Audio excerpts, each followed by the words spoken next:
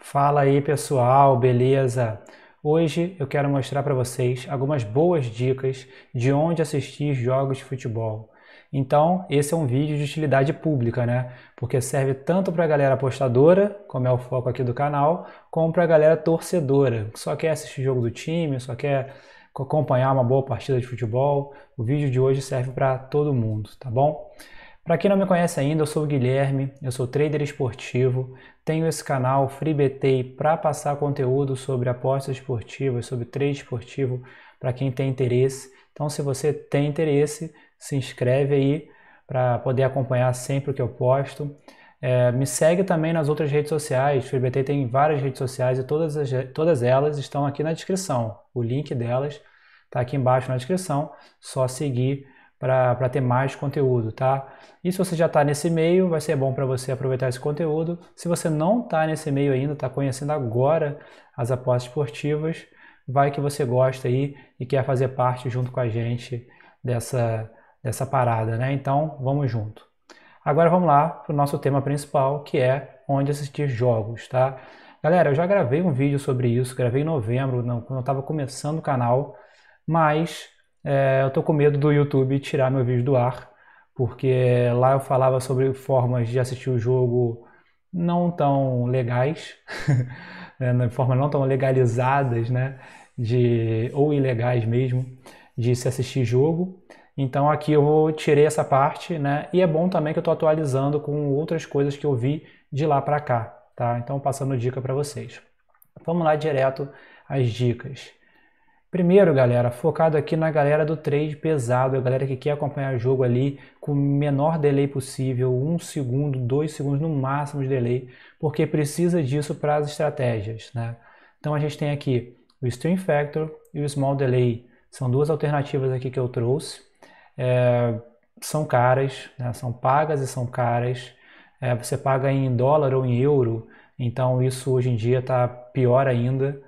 É, você pode pagar às vezes por jogo, às vezes por liga, ou às vezes por mês, mas é sempre muito caro. Tá? Então eu só indico para quem realmente precisa ter um delay mínimo, 0 segundo, 1 um segundo de delay, para poder fazer suas estratégias. Quem não precisa disso, como é o meu caso, por exemplo, eu não preciso disso para as minhas estratégias de trade esportivo, aí eu não indico, tá? Mas eu precisava falar delas aqui para atender esse público que, que queria saber, tá? E aí a gente vem para as alternativas mais comuns. Mas tem gente que não sabe, e talvez o pessoal que não é do trade esportivo, né, das apostas esportivas, não saiba. Então pode ser uma boa aqui essa dica que eu vou falar. Que são as casas de apostas. As casas de apostas transmitem jogos. E geralmente você só precisa ter um saldo lá, você não precisa nem fazer a aposta lá. Só precisa ter um saldo. Então serve para a galera que está querendo ser, torcer para um time, está querendo acompanhar um jogo. Né? A Bet 365 passa jogos de quase todos os campeonatos do mundo. Tá? Só não passa Campeonato Brasileiro, Champions League e Premier League. Talvez tenha mais algum aí, acho que Libertadores, né? Fora isso, passa jogos de todos os campeonatos do mundo. E você não precisa nem fazer aposta na Bet365 se você não quiser. Eu, por exemplo, não faço.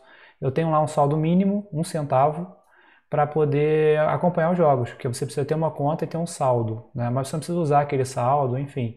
Então é uma forma barata e eficiente e os jogos têm um delay bem aceitável para quem vai fazer as apostas, né? um delay ali de 5 a 10 segundos, bem aceitável para a maioria das estratégias. Né?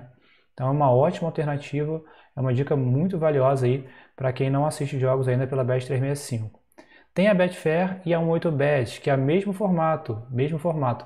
Só que essas duas passam menos jogos do que a Bet365. Então você pode também ter conta em todas elas, mas você vai acabar assistindo mais na Bet365, tá? É, é onde eu assisto a maioria dos jogos. Só não assisto lá os jogos que não passam lá. E aí eu assisto em outros lugares eu vou falar aqui para vocês, tá? As alternativas que eu trago aqui é, boas para vocês pensarem sobre, sobre elas. Primeiro, o Facebook.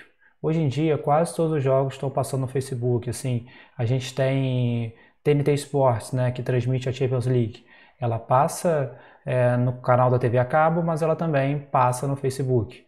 A gente tem os jogos de quinta-feira da Libertadores, que são transmitidos exclusivamente para é, o Facebook. Né? Agora acho que se transmitiu também para o Fox Sports, fizeram uma parceria, mas a, é, a ideia era que fosse transmitido só para o Facebook. Então, está criando a rotina das redes sociais transmitirem jogos. Já teve aí é, o primeiro jogo transmitido pelo TikTok, né? Foi Copa do Nordeste, se não me engano. Teve algumas semanas atrás aí. Então também é uma outra rede social que pode transmitir. E nessas redes sociais você só precisa ter conta na rede social. E é de graça, né? Então é uma alternativa legal, uma alternativa boa.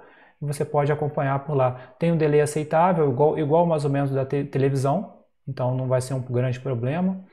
Talvez narra as narrações, os comentários sejam tão bons, mas no jogo em si é, é muito bom.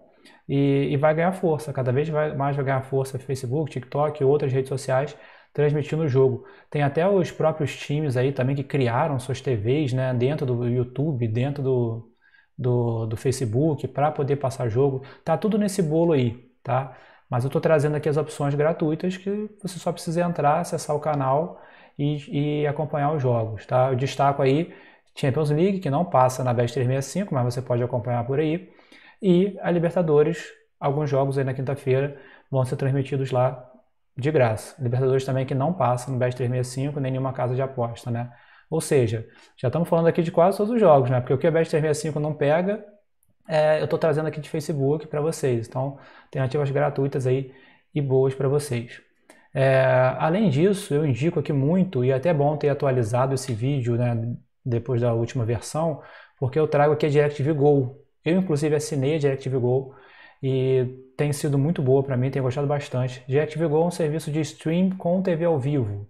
É uma alternativa para TV a cabo, né, porque tem os canais ao vivo e também tem um catálogo de stream. Né?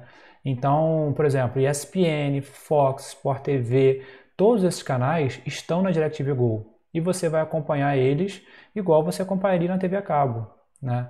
Então, todas as ligas aí, é, Liga Italiana, Liga Espanhola, Liga Premier League, que, que não pega lá no BES 365, pega na ESPN Fox Sports, tudo isso você tem se tiver DirecTV Go. E a DirecTV Go é um preço muito mais acessível do que a TV a cabo. Né? Você tem aí é, R$ 59,90, R$ 69,90, é um valor bem baixo é, comparado ao que ela te entrega, né, de, e comparado à TV a cabo tradicional. Né? Então eu estou gostando bastante. Posso acessar pelo celular também, né? então às vezes eu estou indo para algum lugar, estou acompanhando o jogo no celular, ah, acho uma ótima alternativa.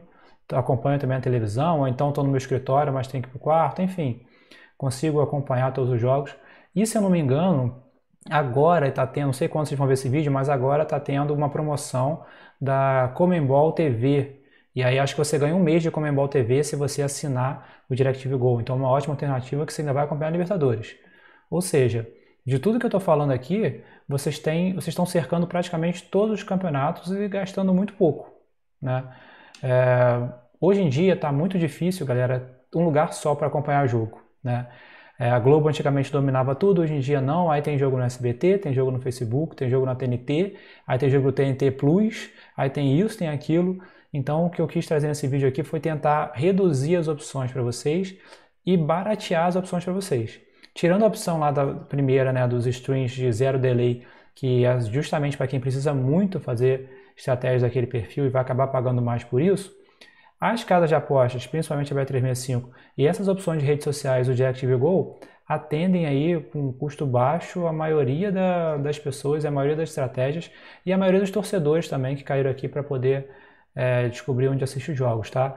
É, no outro vídeo eu acabei falando sobre formas né, ilegais de assistir, não vou falar deles aqui, existem, quem quiser procura no YouTube ou faz qualquer coisa, não vou, não vou citar aqui, não quero ser banido pelo YouTube nem nada disso, mas essas alternativas que eu dei são legais e são boas e vão ajudar muito e são as que eu acompanho hoje, tá? Não precisa de mais do que isso, de uma estrutura maior do que isso para fazer as apostas esportivas, muito menos para conseguir só assistir aos jogos ali como, como torcedor, tá?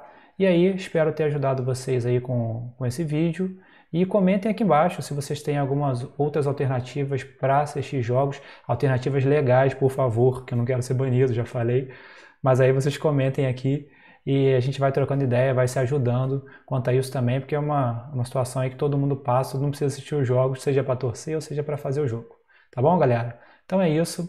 Até a próxima aí. Valeu!